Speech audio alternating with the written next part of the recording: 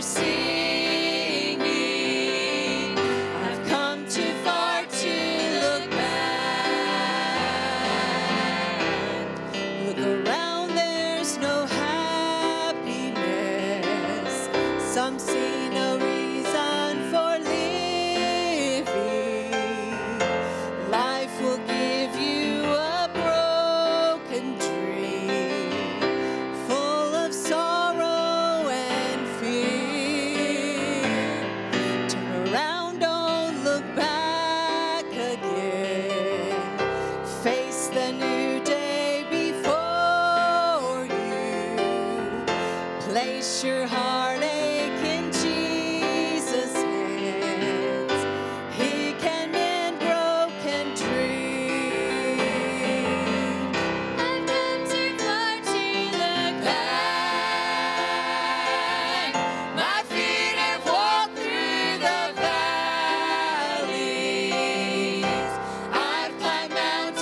cross free.